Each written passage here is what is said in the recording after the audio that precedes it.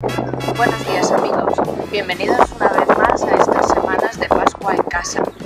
Durante esta semana nos estamos preparando para recibir la venida del Espíritu Santo, el domingo de Pentecostés. ¿Y qué es esto?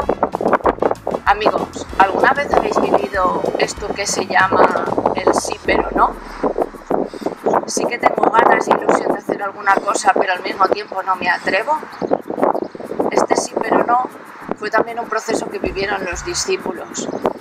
Durante el tiempo de resurrección de Jesús, en el que Él se apareció, tanto de uno en uno, de dos en dos, como en la comunidad, sintieron fuerza, consolación, aliento. Pero cuando Jesús dejó de aparecerse, volvieron los miedos, las dudas y el encerrarse. Aún no se sentían suficientemente preparados para salir fuera y predicar el nombre de Jesús. Era el sí, pero no. En cambio, cuando llega el Espíritu Santo, todos estos miedos, este quedarse encerrados, se abre, se abre completamente y sienten valentía, fortaleza, ganas de salir a hablar con Jesús. Pasan de tener miedo a tener valentía, de estar encerrados a estar en las plazas hablando de Jesús, de tener miedo de la propia vida a ya no tener miedo a morir, porque Jesús está con ellos. Este es el proceso que el Espíritu Santo nos invita a vivir. El Espíritu es nuestro gran aliado.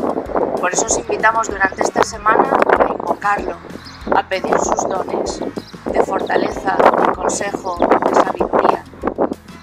En el libro de los Hechos de los Apóstoles nos encontramos con esta vivencia tan fuerte de los primeros discípulos después de que Jesús ha resucitado. Ellos tienen que agudizar el oído para saber qué quiere el Espíritu les lleva. Pensar, discernir, dejarse llevar. Y ahí es donde encuentran la valentía para salir fuera y predicar y ser los nuevos testigos. También nosotros como cristianos del siglo XXI tenemos que agudizar el oído, pedir los dones al Espíritu Santo. Cada uno sabe qué necesita, valentía, fortaleza, consejo, para poder salir y hablar en nombre de Jesús, traer la buena noticia a este mundo que aún hoy necesita consolación, necesita esperanza. Amigos, buena semana del Espíritu Santo. Invoquemos con mucha fe todos los dones del Espíritu para que Él venga sobre nosotros